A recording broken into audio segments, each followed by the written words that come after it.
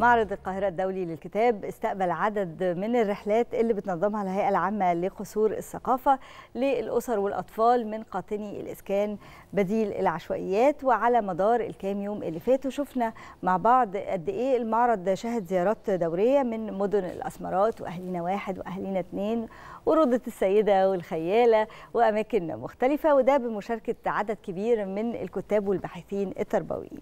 خلينا نقرب أكتر من المبادرة دي معانا عبر زوم الأستاذة أمل جمال الكاتبة والباحثة التربوية اللي شاركت في ورش حكي الأطفال لهذه المناطق. أستاذة أمل صباح الخير عليكي صباح النور وصباح النور على كل مشاهدين القناة الأولى صباح النور على مصر كلها. صباح الفل عليكي أستاذة أمل.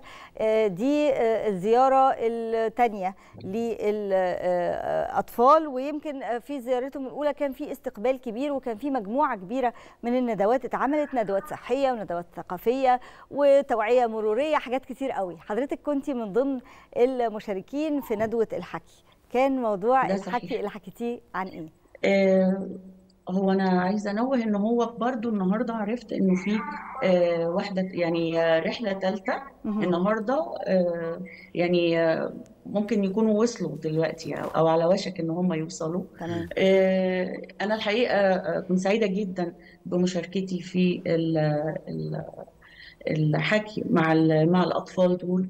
آه إحنا حكينا وإحنا غنينا وكنت فرحانة جدا إنه الأطفال آه يعني آه عينيهم بتلمع كده بالبهجة نعم. بيشوفوا معرض الكتاب لأول مرة بيتحركوا بيحسوا إن هم يعني زيهم زي أي حد في النسيج الشعب وإن الناس كلها مهتمية بيهم وإن بلدهم مهتمة بيهم. الحقيقة يعني كمان بالرسوم اللي على وشهم اللي على وشوشهم والضحكة بتاعتهم. أول لما لما جم إحنا حكينا يعني حكاية جميلة تفاعلية. وسألت كمان الولاد نفسكم بكرة تطلعوا إيه؟ وغنينا للأم وغنينا للأب وغنينا للبلد وسألتهم أحلامكم إيه. آه كتير منهم كان نفسه يبقى ظابط. آه حتى البنات قالت أنا كمان عايزة أبقى ظابط. فأنا استغربت قلت لها يعني أنت عايزة تبقي ظابط ليه؟ ثلاث أربع بنات نفسك تبقي ظابط. قالت لي آه أنا نفسي عشان أحمي البلد وأحمي آه دول يعني قصد قصدها على يعني أصدقائها ومنطقتها وكده. قلت لها على فكرة أنت ممكن تبقي ظابط ممكن تبقي دكتور ظابط دكتورة ظابط بالشكل ده. الصبيان برضو نفس الحكاية البنات والصبيان. نعم. وكمان كان فيهم بنوتة بتقول لي أنا برسم كويس جدا ممكن تساعدوني عشان أبقى رسامة كبيرة؟ قلت لها إحنا هنا وبلدك كلها هنا عشان تحققي اللي انت عايزاه.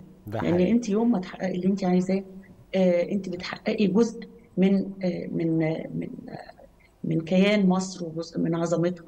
وما تستصغريش ابدا أي حلم انت تحلمي بيه. نعم. انت أستاذ أمل عاوز أعرف من حضرتك أيوة.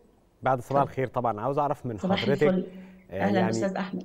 أهمية هذه القصص اللي حضراتكم بتحكوها لهؤلاء الأطفال اللي يمكن من الكلام اللي حضرتك قلتيه يعني بان قد إيه هم عندهم لسه الفطرة موجودة عندهم وعندهم هدف وعندهم حلم.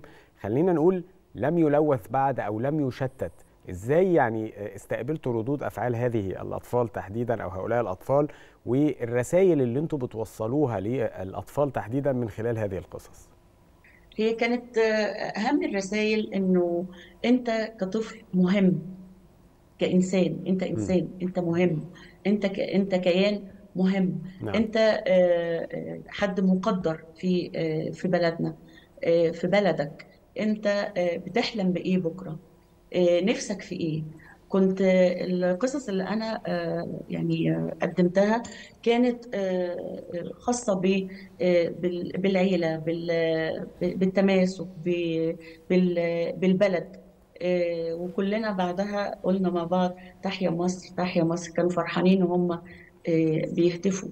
كانوا فرحانين كل كل أطفالنا آه، المصريين أكيد عندهم الانتماء ده أستاذة أمل ده لأن صحيح. إحنا عارفين إن آه. كل ولادنا المصريين شبه بعض وزي بعض على الأقل بتجمعنا نفس العادات والتقاليد وبتجمعنا نفس الأرض اللي إحنا متعودين إن إحنا دايما محميين فيها فكرة تقديم الحاجات المختلفة فكرة تقديم ندوات لها علاقة بالعادات الصحية الغذائية فكرة تقديم آه، ندوة تغذية في متناول يد الأطفال أو في متناول يد الأسر مختلفة الطبقات أو مختلفة القدرة المادية فكرة إن إحنا نعرفهم حقوقهم وواجباتهم فكرة إن إحنا اللي زي ما بنعرفها لباقي الأطفال أعتقد إن دي فرقت كتير مع هؤلاء الأطفال ومع باقي الأطفال اللي كانوا كمان موجودين في القاعة قاعة الطفل المخصصة للأطفال. كل الشكر ليكي الكاتبة أمل جمال إحدى المشاركات في ورش حكي للأطفال بمعرض الكتاب. نورتينا أهلا بيكي.